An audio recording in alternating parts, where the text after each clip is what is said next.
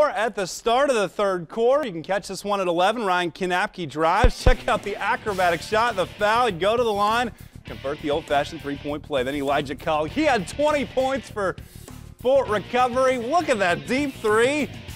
Putting his team back in it. We're all tied up. Then Nick Campbell, the quarterback, gathers the miss. What a rebound and what a finish. But the Fort defending the Fort Side field house, They win it. Final score, it was a low score one, 39-37. How about 20 points for Colleague in that 39-point effort? Mark,